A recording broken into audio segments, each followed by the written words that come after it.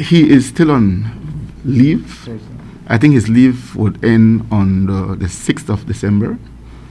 And uh, by then, we should already approach the Services Commission for his suspension to take effect as the leave comes to an end. While, yes, there is a move to suspend, it will be based on administrative failures. The investigations so far have not unearthed anything to suggest that Mr. Vidal was involved or in cahoots with those persons. But yes, we have seen where, as the commander of operations and the person was in charge of the COST team, that he could have done certain things to prevent what happened, and he did not. So administratively, he will be held accountable for those.